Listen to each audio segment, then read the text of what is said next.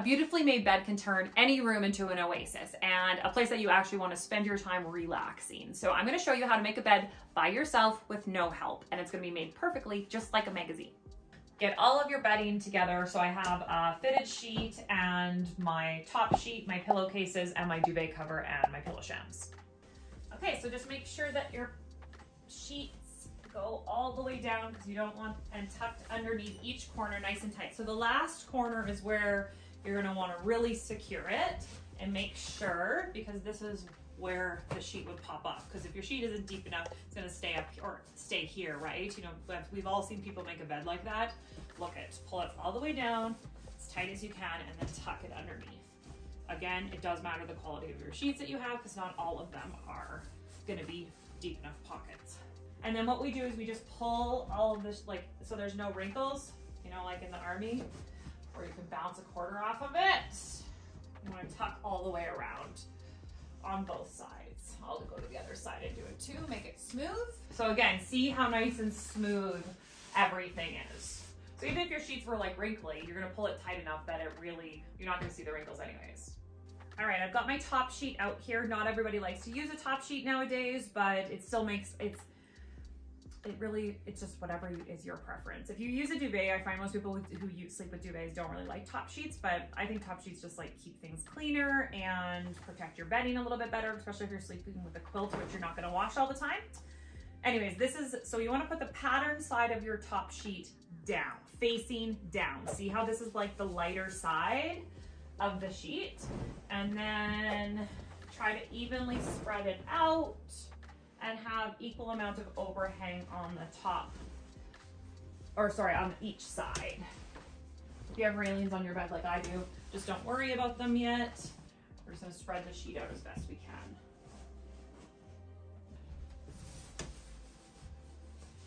But your best thing that you're gonna do is just make sure when you're flat, when you do lay out your flat sheet, just that everything is even because it's gonna make it so much easier for you. Pull everything nice and tight before you start tucking. Now we're gonna make our way around the bed tucking. Okay, I don't worry too much about tucking the top of the bed because we're gonna fold this, like this very top part. So we're gonna fold that um, down at the end, I just tuck everything in. And if you can see, look how smooth we've smoothed out the top of the bed. So there's like no wrinkles in the sheet. See? We've made it to the corner. So the great debate is which way does the hospital corner actually go? I prefer to do it to the head of the bed. A lot of people prefer to do it to the foot of the bed, but honestly, you guys can just like leave a comment below. So tuck just slightly to the toe of foot of the bed and make it nice and tight. And then you just grab, pinch the corner and fold. Oh, you can go like really big on them if you want, or you can go smaller on them. So I am not the type of person that cares if a hospital corner is perfect. Okay, now we're gonna tuck all the way around the edge of the bed, which is kind of a pain in the butt because we have these railings, but I'll move my um, footrest out of the way. You just have to move along. So I'm just reaching in between the bars here and tucking in. You'll see as I tuck, I'm making sure that I'm not making like a whole bunch of wrinkles either, like tuck, smooth it out. And Now onto this corner.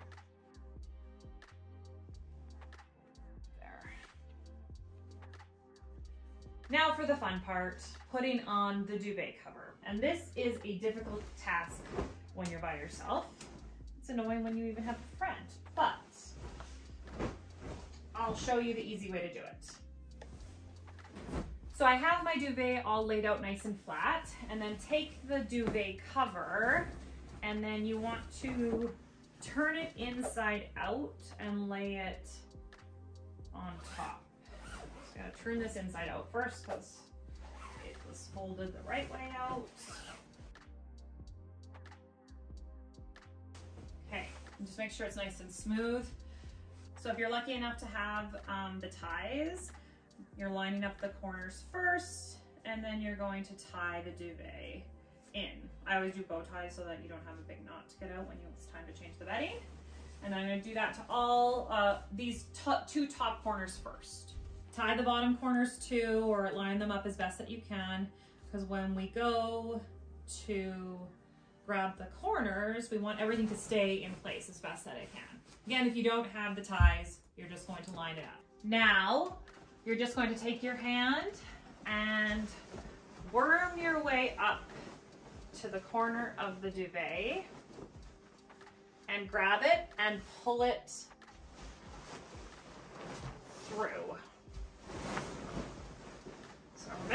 is how to make a bed by yourself. Got it all twisted. Find the hole.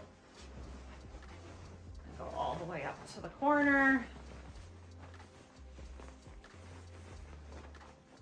See how I'm grabbing this corner and then pull through.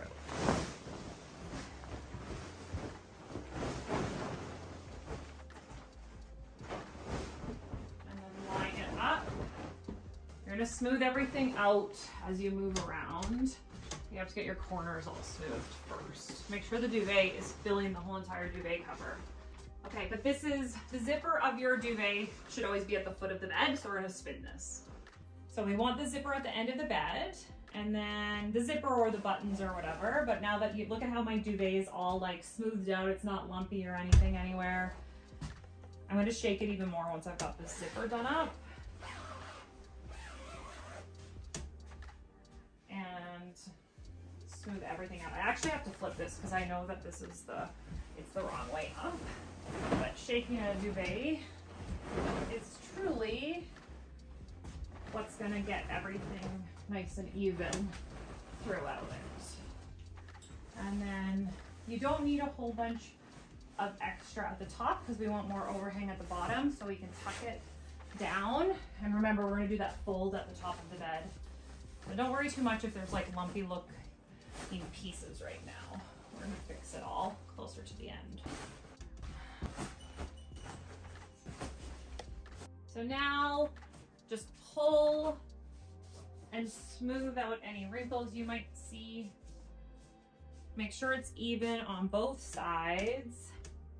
And then honestly, we're gonna, we're ready to do the fold back.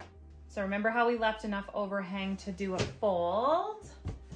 And we like to do a double fold at Go Clean Co, but I'm just gonna have to go to that other side. So hold tight so that it's all even Steven.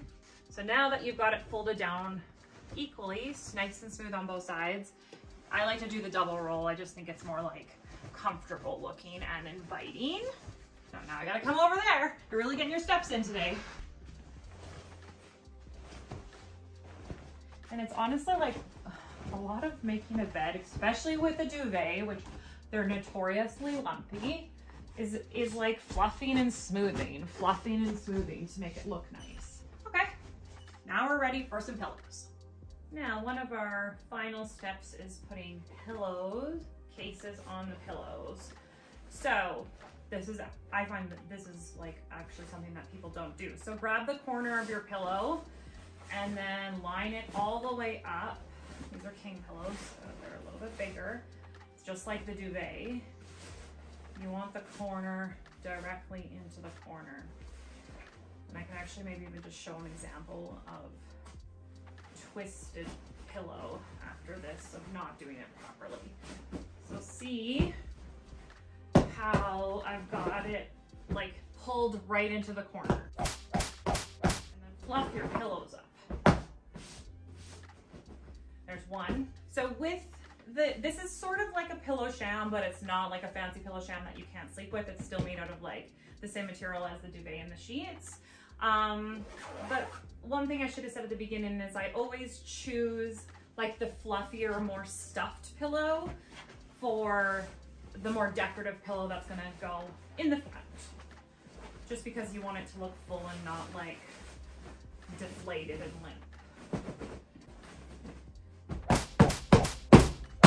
Fluff your pillows. Take out your daily frustrations.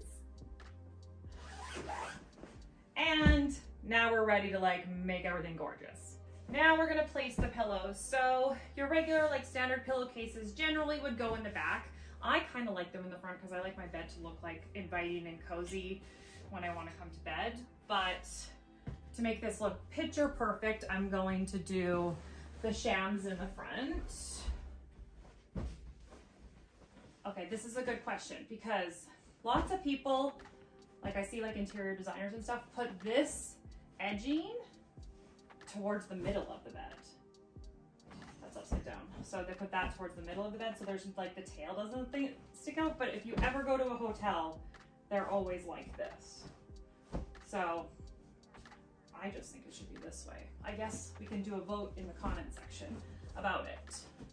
So this bed looks absolutely beautiful as is, but we're going to add in like some elements of layers just to like cozy it up. You could just leave it like this and be happy. I think it looks fantastic, but adding in some layers is just gonna, I don't know, make it more cozy. So first thing you could do is just a decorative pillow, which that looks really nice. Oh, it needs a little bit to go a little bit to the left. There.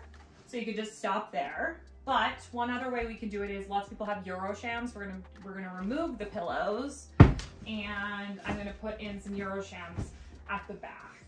I like them, but it's one of those things that you have to remove off of your bed before you go to sleep.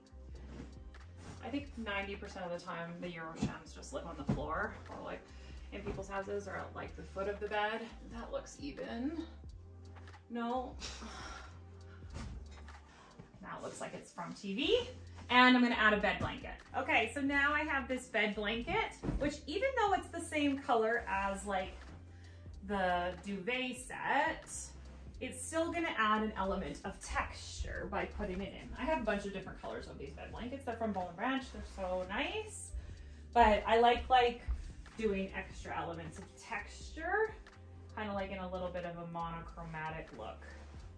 You know, beige on beige so out there and exciting. And that concludes how to make a bed perfectly by yourself. So remember to use whatever you have on hand. You don't have to like go and buy a whole bunch of bedding, but you can use what you have on hand to make any room really comfy and cozy. So now you can crawl into bed and have a nap and watch our YouTube channel. Make sure you subscribe.